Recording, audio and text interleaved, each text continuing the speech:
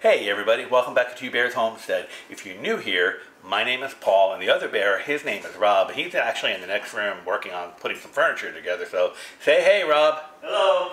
I don't know if you heard him or not. But um, today we are doing, uh, we're going to be canning uh, blueberry preserves or blueberry jam.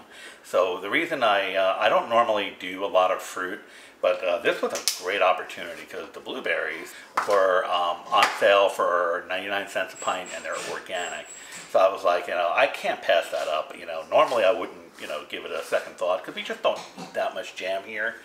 But occasionally we like like a little something sweet.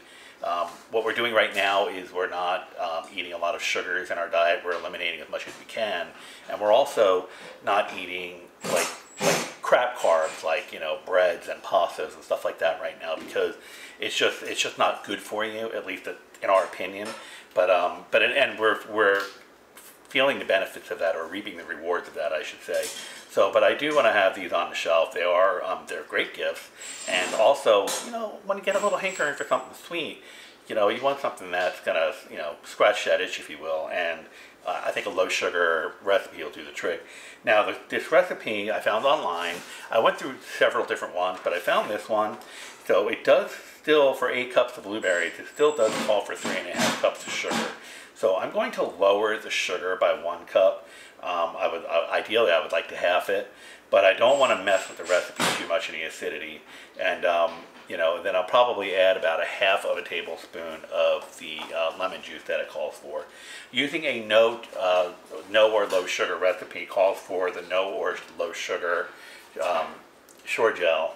So the, the original and then the uh, the original, and then that is the uh, the low. So this is the one we're using. So make sure you're reading the box on that, and also check your expiration date. So uh, I just have that there for you know for education purposes, I suppose. So what we're going to do is we're just going to go ahead and mashing down these blueberries, and we're going to get rolling. So here we go.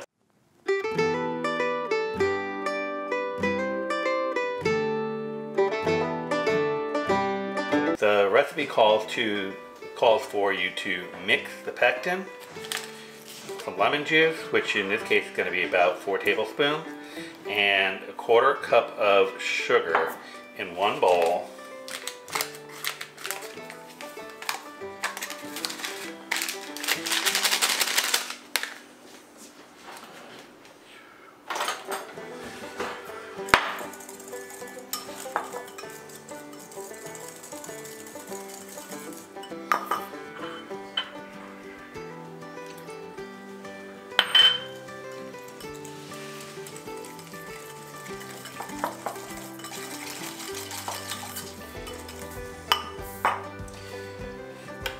then to take the blueberries and put them in the large pot. So the large pot is on the stove right there. I'll go ahead and get that in and then I'll bring you back and show you the pot. So here we have the blueberries on the stove and we're bringing it up to a boil, constantly stirring as we go along. And once it starts getting to a boil, go ahead and add the pectin mixture and incorporate that in well and keep stirring. It, it'll come up to a hard boil. You want to keep that boil rolling so it cannot be stirred down as you see here. And once we got that rolling boil that can't be stirred down, this is when you want to go ahead and add in your sugar and incorporate that in well. And it takes a minute or two to incorporate the sugar in properly, but you want to be stirring the entire time. Do not stop for any reason. And We get that incorporated in. And then once we got our boil going for about a minute, we go ahead and slide it off the burner and do our doneness test on a chilled plate.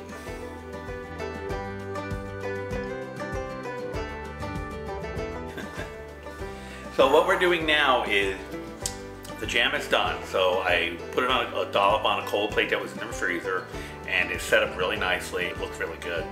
But what you have to do now, because it's still scalding hot, and there are bits of fruit in there that are going to float up in the liquid, so it needs to cool for about 10 minutes or so, and then you go back and you start to redistribute before you go ahead and put it in the jars. So we got about 10 minutes from this point, so I'm going to go ahead and just clean my little mess up here, and then we're going to go ahead and set the jars up, and they're already in the canner ready to go. We just got to get them in the jars. So, all right, here we go.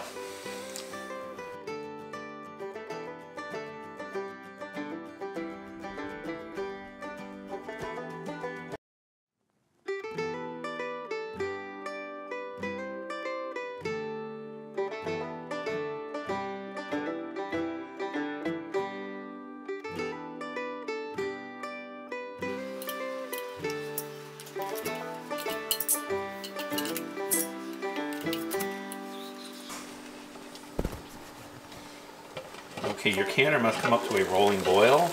That's what a water bath rolling boil looks like.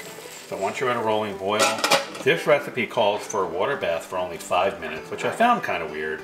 So I'm probably just going to go ahead and do it for the 10 minutes. And um, after that, we'll see what they look like when they come out of the canner. And here we are, folks, fresh blueberry preserves or, or, jam, whatever you want to call it, fresh out of the canner.